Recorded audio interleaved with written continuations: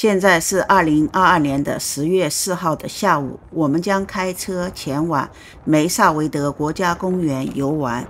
梅萨维德国家公园又叫福德台地国家公园，建立于一九零六年六月二十九日，是美国一个专门为保护人造建筑而设立的国家公园，位于美国科罗拉多州西南部蒙特苏马山谷和。曼科斯山谷之间，面积约为两万一千零七十四公顷。目前在这里已经发现了约四千处印第安原住居民的遗址，其中近四百处是因为一九九六年的一场大火而重见天日的。主要景点包括绝壁宫殿、云杉树屋、悬崖宫殿等等。现在呢，我们就来到了这个梅萨维德国家公园的游客中心。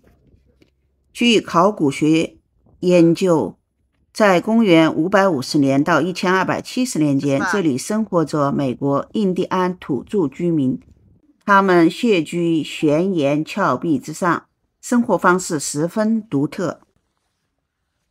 公元一千二百七十六年到一千二百九十九年，这里发生了连续二十四年的大旱灾，食物断绝，人们向东逃窜，到水源充足的地方重建家园。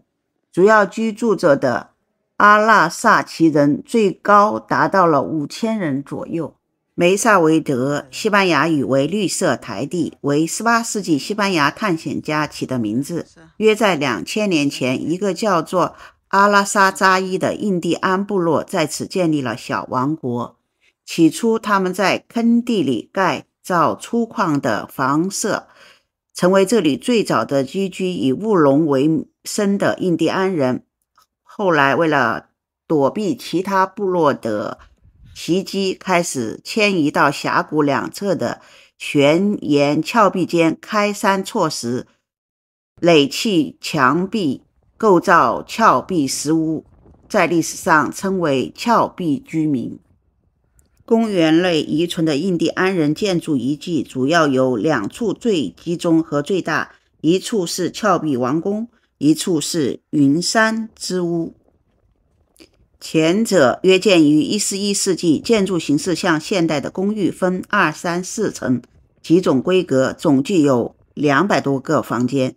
在峭壁王宫外缘还盖有许多圆形地下室，供部落内部社交活动和敬神之用。这些建筑物虽然已经废弃了七百多年，但依旧可以看到当年的建筑规格与工艺技巧。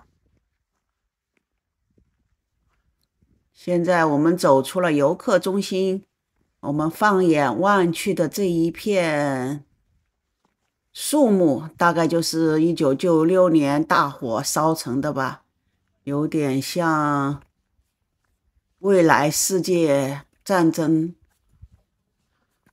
之后的那些树木荒地。看一看蓝天映照下的树木。全部被火烧了的感觉。我们可以从这个下面走下来，现在可以看到对面的峭壁。我们知道云山之屋是第二个最大的建筑遗址，约建于一十二世纪，共有峭壁房舍一百多个，房舍周围还有五百多所古屋，用于敬神。的太阳庙以及阳台屋、落日屋、方塔屋、雪松屋、回音室等等。参观这些地方必须爬金星树木的长梯，和凭借扶梯下到地下室。好像是已经关闭了，不能走到那边了。我们只能看一下这个宫殿式的建筑，在这个地方，我们可以看到这个峭壁间。搭的这些石屋的遗址，看到这些房子，总想到古代人好小哦，这么大一块的圆屋就是他们的聚会场所。基本上这一个但是这个峭壁的层次是很高的，还有一些弧度的，应该是可以遮风挡雨的。躲在下雨的时候，躲在悬崖峭壁的根部的话，应该是雨是淋不到的。古时候的人的生活条件好艰难啊。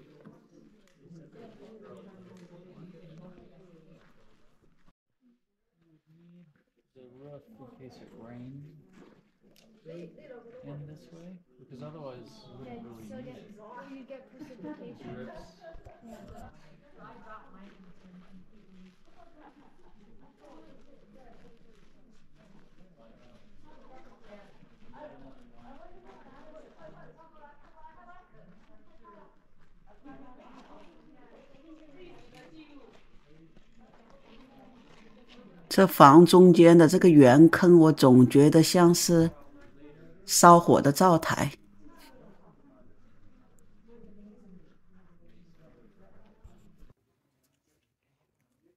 这就应该是他们的一二三层不同的层次的房子吧。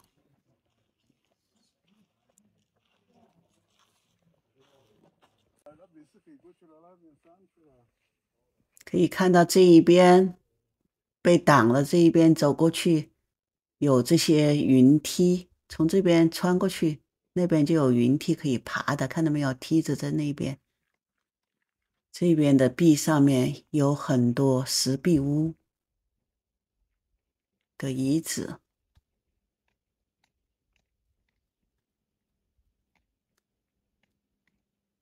也可以看到比较大一点的洞穴。这是原来种水稻的地方，发现水稻。人类的生活真是发生了翻天覆地的变化，科技带给了我们人类生活的变化是多么的巨大。